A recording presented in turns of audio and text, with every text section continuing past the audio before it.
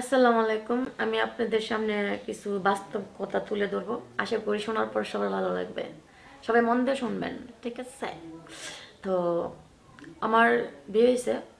আমার বিয়ে হয়েছিল খুলনাতে। আমি বর্তমান থাকি গেলো ঢাকা, গাজীপুরে। তো আমার বিয়ে হয়েছে। আমার বিয়ের পরে মানে আমি ঢাকা থেকে বিয়ে করছি, যেমন ধরেন এই জায়গায় থাকি, এখান থেকে মানে একটা ছেলের সাথে সম্পর্ক করে বিয়ে করি। বিয়ের পর দেখা যাচ্ছে যে আমার স্বামী আমাকে দেশের বাড়িতে নিয়ে যায়। যখন নিয়ে যায়, নিয়ে যাওয়ার পর আমি যাই দেখি যে ওরা চার ভাই, আমার স্বামীকে নিয়ে পাঁচ ভাই, ওদের কোনো বই নাই। তো আমি শ্বশুর বাড়িতে গেলাম, যাওয়ার পর মানে এক একজনের এক কথা হ্যাঁ চিনে না, জানে না কোনের একটা মেয়েকে বিয়ে করে নিয়ে আসছে, কোন কোন বংশের মেয়ে জানি না। মানে আমাদের সমাজের মানুষ মানে আমাদের দেশ গ্রামের মানুষগুলি কীরকম হয় জানেন? মানে যখন কোন ছেলে একটা মেয়েকে বিয়ে করে নেবে, ওরে বাবা আইসা মানে এ বউ আর পাইলো না, কি দরকার? নিজের দেশে মেয়ে অভাব পড়ছে বিন্দিসে একটা মেয়ে নিয়ে আসছে। এই মেয়ে, তুমি কেমন মেয়ে? তুমি যাচাই করো নাই বেড়ার বাড়ি কই, বাপ মা কই আসে না না আসে পট করে ছেলে দেখলে বিয়ে করতে মন চায়, ছেলে দেখলে বিয়ে বইতে মন চায়। মানে যার যা ইচ্ছে হয় তাই বলে। এবার কে দেশের মানুষগুলি?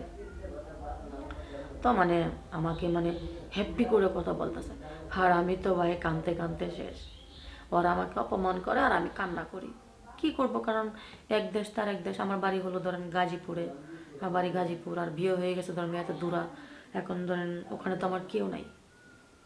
মানে যে যেমন পারে সেমনই বলতাছে। আর আমি খালি চুপ করে মাথা নুচু করে শুনতাছি আর কান্দতাছি কারণ কান্দা ছাড়া তো আমার কিছু করার নাই। তাই না? তাই এমনিতে গেল। আবার আমি যাকে বিয়ে করছি একটা বলতা নাম্বার ওয়ান কারণ কে লাগে আমারও অপমান করতেছে, ও সুন্দর করে ঘরতে বাইরে হয়ে গেছে গা। দূরা যায় আমার ফোনতে কয় কি এটি কিন্তু আমার শাসি হয়, মামি হয়, তুমি কিছু বইলো না, কতক্ষণ বইলে চলে যাবে? তার মানে আমাকে বলার সুযোগ করে দিছে। তারপর আমাকে বলেই যাচ্ছে আর আমি মানে শুনেই যাচ্ছি। তারপর হঠাৎ করে মানে একটা ভালো মানুষ আসলো মানে আমার পক্ষে একজন আসলো। আইসে, উনি আইসে বলতেছে, এত বলল না খালি মেয়েটার দোষ কেন? তোমাদের ছেলে কি ভালো? তোমাদের ছেলে ভালো হইলে বাপ মারে না জানে, পট করে বিয়ে করে নিয়ে এসে কেন লাগে পরের মেয়ের বউকে নিজের ছেলেকে বলতে পারো না। বা আমার যে এত ভালো লাগতেছিল, কেউ হয়তো আছে আমার পক্ষে কথা বলতেছে। তারপর দেখা যাচ্ছে যে এমনিতে আমি চার পাঁচ দিন ছিলাম। তো সকালবেলা মানে আমি যে গেছি, আমি যখন গড়তে বাইরে ভাই, আমি মানে পানি খাব, কাউকে বলতে পারতেছি না। আমি যে গড়তে বাইরে এই ব্যবস্থা নেই। মানে এত মানুষ। মানে কারোর সামনে কিছু বলার মতো কোনো নেই। তারপর সারাদিন চলে যাচ্ছে, কেউ বলেও না যে বউরে ভাত দাও। তারপরে বলদারে কল দিলাম, দিয়ে করলাম মানুষের মানুষ সামনে। কল দিলে কয় কি, কারে কল দিচ্ছ? তোমার মাকে? তোমার বাপকে? তোমার বাপ মা জানে? তুমি এখানে চলে আসছো? ও, আমগো ছেলেরে কল দিতেছ? কি কবা? তো শাশিরা বকতেছে বদলাম কবা, কুটনামি করবা?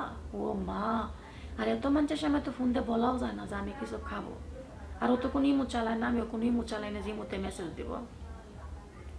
তারপর ফোন দিতেছে দেখে বারবার, ফোন দিয়ে দিয়ে কাইটে দিতে তখন বুঝতে পারছে বাইতে আইসে আবার পর দেশে কইতেছে মা কিছু দেও খাইতে কিদা লাগছে তখন কো ও আমার তো মনেই নাই তোরা যেন খাস নাই এত মানুষের ভিড়ে তো খাওয়ার কথা ভুলে গেছি পরে বাদ দিল খাব এত মানুষের সামনে খাওয়া যায় যায়ও না ঘর থেকে খাড়ায় থাকে বারাত সরম লাগে তারপরে আমরা কষ্ট মষ্ট করে দুই নলা মুখে দিলাম দিয়া পরে ধরুন বৈশা রয়েছি মানুষ আইতে আছে সকালবেলা পরের দিন ঘুমতে উঠছি আজানের সময় ওটা লাগবে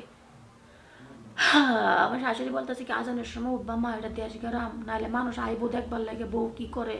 তুমি কাম করো নাকি, রান্না করো নাকি মানুষ দেখতে আইবো। আমি জীবনের কোনদিন ফেলের দিয়ে ভাত খাই নেই। মানে আরেকজনে বলতাছে, আবার মানে কুসা দিয়ে বলতাছে বলতাছে, কি বয়স কি কম হয়েছে কিছু কি বুঝে না? যদি না বুঝতো? যদি ছোট বাচ্চা হইতো তাহলে কি বাপ মা তো কি আরেকটু আর হাত ধরে চলে আইতে পারতো? তো দেশ গ্রামের কিছু মানুষ আছে, দেখবেন কি মানে আপনি ভালো আছেন না যাই খেবো এমনভাবে একটা খুসা মেরা দিব যাতে আপনি মানে এ হয়ে যান গা। তো আমার শাশুড়ি বসে রয়েছে আইসে বলতেছে "আহ, তুমি একবার বল লাগে একবারে মিললে গেছো গা একবারও ভাবো নাই তোমার বলা যে একলা একলা বিয়ে করে নিয়ে আইসে কোন মায়ের সন্তান এমনি চুপ করে চলে আইসে একবার যাচাই করল না ছেলের বাপ মা আছে না নাই? ব্যাস বেটির মনটা গেল নষ্ট হইয়া। ঠিক আছে? তো আমার ও দেশে কিছু মানে গ্রাম অঞ্চলে কিছু মহিলা আছে। দেখবেন কি করে জানেন? সুন্দর করে না আঙ্গুলের মাথার মধ্যে একটু করে চুন নিবে আর মুখের মধ্যে এতটা পান ঠেলে দেবে। দিয়া পুরা গ্রাম ঘুরে ঘুরে কুটু টুটু করে বেড়াবে আর কার বদলাম কওয়া যাবে, কার মন্দ কওয়া যাবে, কাকে কি বলা যাবে এইগুলি করবে এটা হলো ওদের জন্মের দোষ আর এটা হলো পেশা। তো এইগুলি করতো। আমি কি বলব? ঘুরে ফিরে ঘুরে ফিরে এ চিল্লায়া চাল্লায়া আবার বাড়িতে আইতো। তা সকালবেলা উঠি রান্না করি, খাই দেয় ঘুমাই এইভাবে থাকতে থাকতে পরে আমি আর পারি না ভাই। পরে বুঝাইলাম, বললাম, কি চলেন, ঢাকা যাব গা?